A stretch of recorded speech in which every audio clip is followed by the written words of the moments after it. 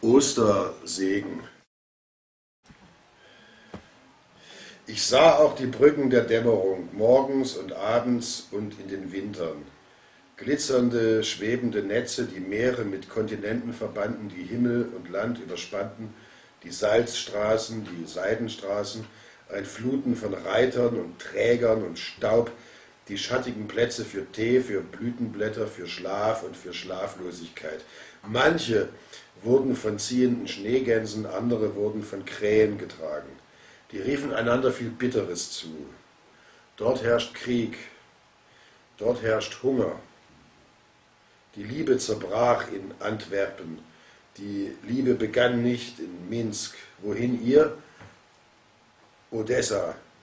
Wohin wir? Nach Kiel. Ich sah auch die Brücken aus Schneefall, der sämtliche Blumen auf einmal aussieht, aber so fährt das Jahr aus dem Hafen.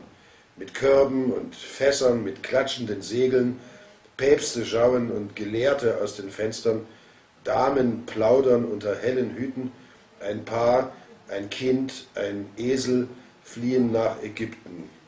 Minensucher schwanken still vor ihnen her.